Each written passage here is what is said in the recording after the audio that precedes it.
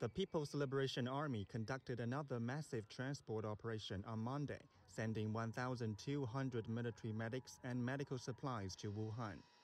The Army's Air Force dispatched eight transport aircrafts, including five domestically developed Y-20 transport aircrafts, said to be one of the world's largest strategic heavy lift transport planes.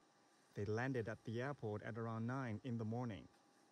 我们受领任务以后啊， 进行了精心的准备。我们想让呃随飞机的白衣天使们能够非常安全。The medics belong to military units from several military services, including the Army, Navy, Air Force, and Strategic Rocket Force.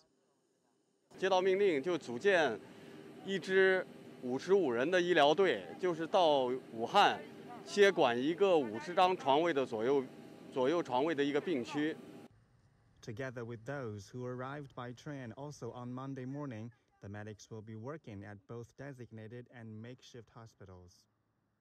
唐博 CGT